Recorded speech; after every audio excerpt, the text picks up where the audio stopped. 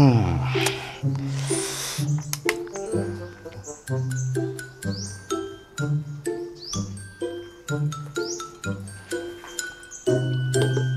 าอุดถ่ายตอนไหนเนี่ย โอ้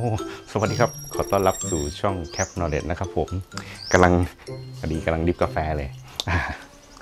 อีพีนี้สมารีอีกแล้วครับผมอีกครั้งหนึ่ง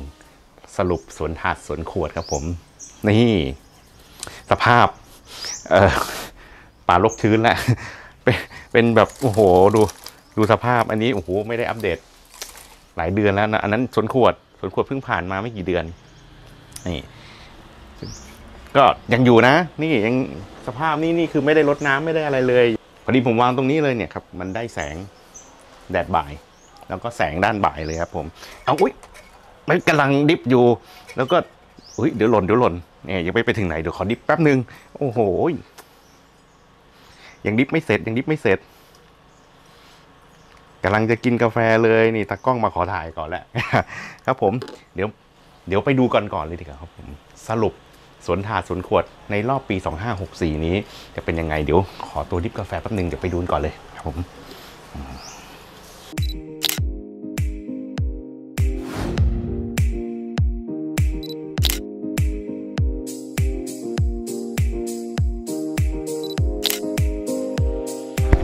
ำหรับสวนถาดสวนขวดนะครับ ผมก็จะแบ่งออกเป็น 3 แบบสวนถาดแบบชื้น แบบชื้นก็จะเป็นแบบพวกไม้ใบ แล้วก็สวนถาดแบบไม้กินแมลง อันนี้เป็นอีกหนึ่งไอเดียหนึ่งที่เคยทำไว้ต้องนานแล้วนะครับ แล้วก็อีกแบบก็จะเป็นสวนขวด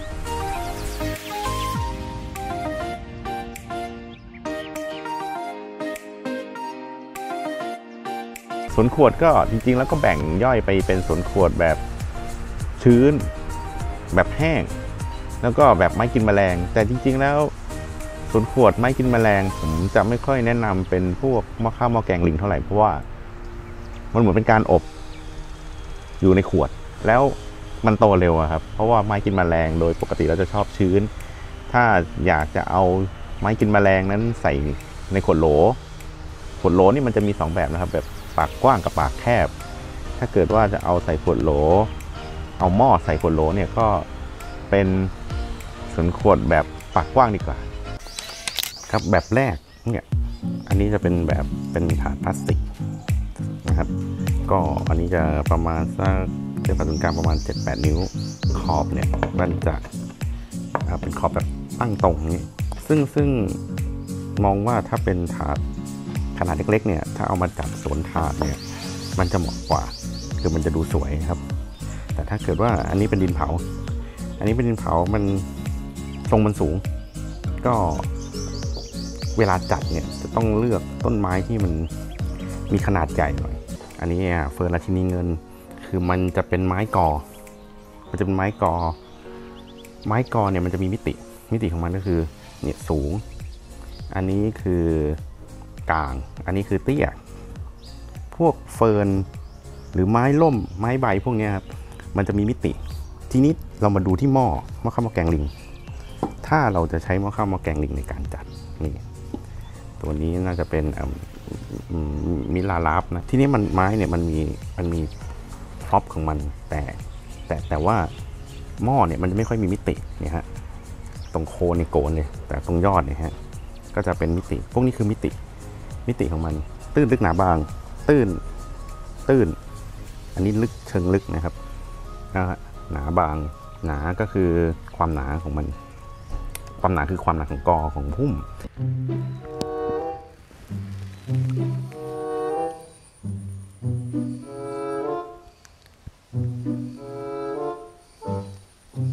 สวัสดีครับ ขอต้อนรับสู่ช่อง Cap Knowledge นะครับ ใน EP นี้เป็น EP พิเศษอีกครั้งหนึ่งนะครับ EP ที่ 3 และ EP ที่ EP ที่ 3 ก็จะมาต่อจาก EP พิเศษที่ 2 ที่จะมาเอ้าจัดสวนถาดทำอะไรเนี่ยกันแล้วนะครับแล้วก็มาทำอะไรอะถ่ายอะไรก็มาช่วยไงไม่ต้องช่วยช่วยไปได้แล้วไปได้แล้วไปได้แล้ว แล้วเราช่วยได้ไหมไปแล้วไม่ได้เหรอเออนิดนึงไปได้แล้วอ่าไปก็ได้โอเคแหมมันแหมมามา สองอีพีแล้วเนี่ยนะมาป่วนเนี่ย เออแหมอะครับ รู้สึกว่าจะเป็นจริงๆมันใส่ไว้สองต้นเนี่ยฮะแต่ว่าเดี๋ยวเวลาดึงเนื้อดึงมาทั้งอันเลยเอามีไม้เอาออกก่อน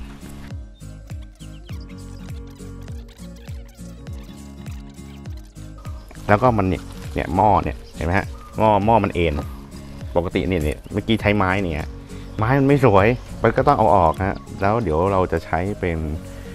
ตอไม้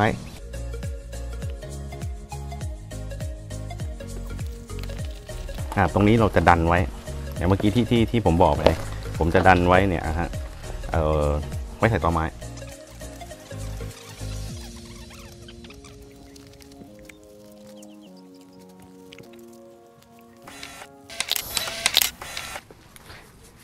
อ่านี่ครับผมวางไว้ ไว้แบบอย่างนี้เลย ก็คือมันก็คือมันจะโดนแดดด้านด้านนั้นด้านนี้ด้านแดดเช้า แล้วก็แดดบ่ายด้านนี้ ทีนี้นี่ก็รดน้ำทุกวันเลยครับ แล้วก็เนี่ยครับเฟิร์นนี่จะเป็นตัวบ่งบอกเลยครับว่าเอ่อบริเวณโดยรอบเราอะสถานที่เลี้ยงเนี่ยมันชื้นมากน้อยขนาดไหนที่จะเฟิร์นงานนี่คือชื้นมาก และนี่มันได้แดดด้วยอะเดี๋ยวมาดูกันว่าสภาพเป็นยังไง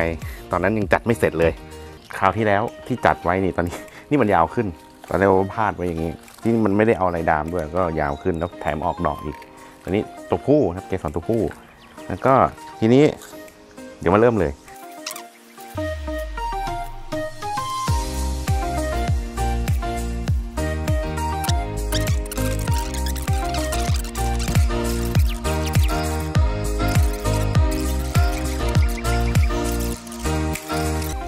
อัพอ่า อันนี้ไปไปเอามาใหม่ เป็นเป็นเป็นตัวช่วยเขาเรียกกำลังโชคไม่ไม่โค้งเคงแล้วเห็นไหมครับ ตอนแรกมันห้อยเลยไอตัวต้นไม้หลักเนี่ยฮะตอนนี้มันไม่ห้อยแล้ว เพราะว่าผมมีอันนี้ อ่าครับ อืมนี่ สภาพ จากคราวที่แล้วนะครับที่ทำตอนแรกว่าจะตัดนี่ไม่ได้ตัดดอกเลยเดี๋ยวไปดูกันดีกว่าว่า เดี๋ยวจะต้องแต่งอะไรยังไงบ้างครับผม อ่าครับ เฟิร์นขึ้นเยอะแล้ว นี่มีอาจจะมีมีหม้อที่แห้งเหี่ยวอะไรไปบ้างนะครับผม แล้วก็ตอนนี้เนี่ยติดแล้ว เห็นว่าจริงๆแล้วแค่แค่ปักเอ่มอาทิตย์สองอาทิตย์สองอาทิตย์เนี่ยประมาณสักสองอาทิตย์เนี่ยมันจะเริ่มติดแล้วทีนี้ตัดแต่งไปได้เลย ตัดแต่งไปได้เลย แล้วก็เออนี่ตอนแรกปักเนี่ยมันยังโอนเอ็นอยู่เลย อันนี้แข็งทื่อแล้วขึ้นมาแล้วนี่กำลังโชว์ขึ้นมาแล้ว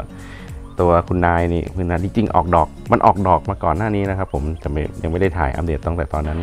อันนี้แต่ว่าสวนถาดสวนขวดในอีพีต่อไปเนี่ยเดี๋ยวผมจะมาพูดถึงสวนขวดบ้างแล้วจะมาทำสวนขวดให้ดูบ้างแล้วว่าทำยังไง เอาเป็น ค่อยๆทำแล้วกันเป็นปากกว้างก่อน มันมีปากกว้างปากแคบแล้วก็มีแบบแนวนอน แนวนอน แล้วก็มีกับหัวที่ผมทำนะ อันนี้เดี๋ยวไว้เท่านี้แล้วเดี๋ยวผมค่อยมาอัปเดตเรื่อยๆว่ามันจะเป็นยังไงครับผมอ้าวสวัสดีครับ ขอต้อนรับสู่ช่อง Cap Knowledge นะครับผมกลับมาอีกครั้งกับ EP พิเศษ EP Special สวนถาดสวนขวด แล้วก็การจัดสวน เล็กๆย่อยๆแต่วันนี้ มีสิ่งที่เปลี่ยนแปลงไปจากเดิมเพราะว่า 4 EP แล้วใน EP Special เนี่ยจัดสวนถาดสวนถาดไม่ใช่สวนขวดสวนถาดสวนถาด EP นี้จัด สวนขวดขวด แต่ไม่ใช่ขวดแบบนี้นะครับ อันนี้อันนี้ขวดพลาสติกจะจัดเป็นในขวดขวดโหลขวดแก้วอย่างเงี้ยครับผมนะครับผมแล้วก็วันนี้จะมาจัดสวนขวดมาให้กินแมลงกันครับ แล้วก็เอ้ยเฮ้ยเฮ้ยกินจะไปกินก่อนเฮ้ยโถเอาไปอีกแล้วโถอร่อยมากสงสัยสงสัยอร่อย มันเอาไปอีกแล้ว คราวนี้คราวนี้เราก็โดนขโมยคราวนี้โดนแบบถุงขโมยอะไอ้นี่ไอ้มัน เอาไปอีกแล้ว อะครับเรียบร้อยแล้ว มีอุปกรณ์ต้นไม้นี่อันนี้ผมวันนี้ใช้มะขามแกงลิงอันนี้แอมพูเรีย อันนี้มิรากาซิลิกนี่กำลังแตกขึ้นมา แล้วก็กาบไฟแคงกาบไฟแคงอันนี้ใน EP 16 ที่ผมแยกไปนะเนี่ยเอามาใช้ นี่เป็นผมญี่ปุ่น นี่เป็นสับปะรดสีช้อนพิมพ์เล็ก ๆ อันนี้ผมเอามาซื้อมาจากไดโซะ60 บาท ตัวนี้จริงๆก็อันอันเดียวกันแหละ แต่ผมเอามาเอาผ้าเนี่ยให้ผ้าที่มันไม่เป็นขุยนะครับมามามามัดไว้นี่คือสำหรับทำความสะอาด ตัวนี้เนี่ยเป็นอุปกรณ์สารพัดประโยชน์เลยคือ ไว้ขุด ไว้ตักไว้เจาะไว้คุยคุยคุยคุยตัวนี้ผมใช้เป็นหลัก แต่ตัวนี้ไว้แค่ทำความสะอาดเท่านั้น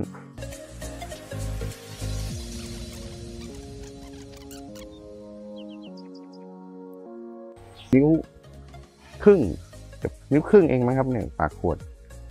ดูหม้อสิ เนี่ยกล้องมันมาดูหม้อสิ ดูดิพอดีเลยอะอู้จะลงยังไง มาดูต่อลงได้หรือไม่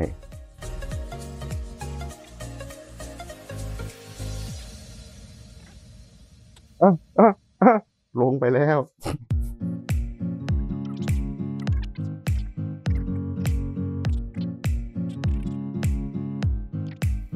ติดตูดติดตูดมันอ้าว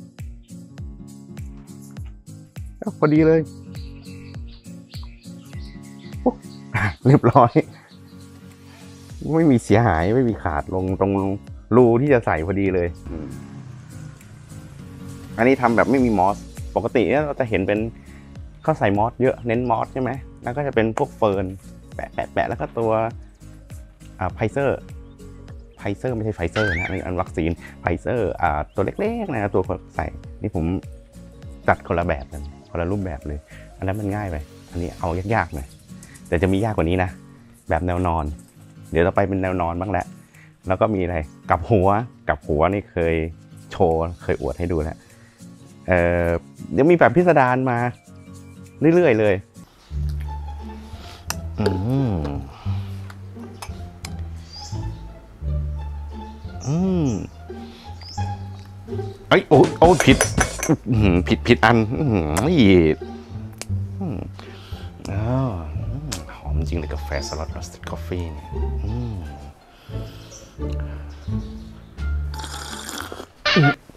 โอ้ปากพองโอ้โหอ้าวเป็นไงบ้างครับผม สรุปสวนถาดสวนขวด ในรอบปี 2564 นี้ แต่ว่าปี 2565 เนี่ยครับผม เดี๋ยวจะมีอะไรที่ หลากหลาย แล้วก็สนุกมากกว่านี้ครับผมสำหรับการจัดสวนถาสวนขวด ทีเนี้ยจะไม่ได้จัดในกรอบแค่แค่ที่บ้านผมแหละแต่ว่าอาจจะอาอาจจะแบทเทิลการจัดสวนถาสวนขวดที่สวนอื่นๆบ้างอยากให้ติดตามกันนะครับผม แล้วก็เคยบอกไว้ว่าในใน Q&A เคยบอกไว้ว่าจะจัดสวนแบบขนาดเล็กย่อมๆด้วย เดี๋ยว 2565เนี่ย เดี๋ยว จะหาเวลามาจัดให้คุณผู้ชมได้ดูกันนะครับผม แล้วก็นี่ครับกาแฟสล็อตลอสเซตคอฟฟี่ EP ที่แล้วคั่วไปแล้ว EP นี้เรามา drip กินกัน อันนี้เป็นแบบเม็ดนะครับคั่วอันนี้อันนี้ผมบดไว้แล้วก็มา drip drip เองอสำหรับคนที่มีที่บดที่บ้าน แต่ถ้าเกิดไม่มีใครที่บ้านไม่ไม่สะดวก หรือไม่มีที่บดนะครับ ผมก็จะเป็นในถุง drip bag ครับผมแล้วก็จะมีเป็นแบบ cold brew cold brew นี่ กินได้เลย สั่งปุ๊บกินปุ๊บเปิดปุ๊บกินได้เลยมีแบบผสมนมกับแบบเพียวๆนะครับผมใครสนใจไปดูในรายละเอียดได้ที่เพจ Sloth Roasted Coffee นะครับผม อืมอ่าอืมจริงๆอีพีนี้ของไอ้เต้ยบ้าไอ้เต้ยบ้าไม่อยู่ เรามาเปิดแล้วก็มาปิดแทนครับผม เอาแล้วก็อย่าลืมนะครับผมฝากกดติดตามกดไลค์กดแชร์ แล้วก็กด subscribe แล้วก็อย่าลืมกดกระดิ่งแจ้งเตือนนะครับ ผมเวลาอัพคลิปนะครับ ผมจะได้ได้ดูก่อนใครเลยครับผม เดี๋ยวขอตัวไปกินกาแฟก่อนสำหรับเสร็จกาแฟอร่อยมากอ่าแล้วเดี๋ยวอันนี้เดี๋ยวผมมาอัปเดตกันไปแล้วอืมอืม ยอดมาก